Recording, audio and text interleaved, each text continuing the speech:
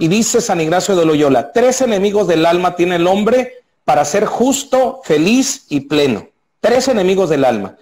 ¿Cuáles son esos tres enemigos? La soberbia, el orgullo y la prepotencia. Esos tres enemigos son los que nos suben los humos a la cabeza y nos hacen creer que somos dioses.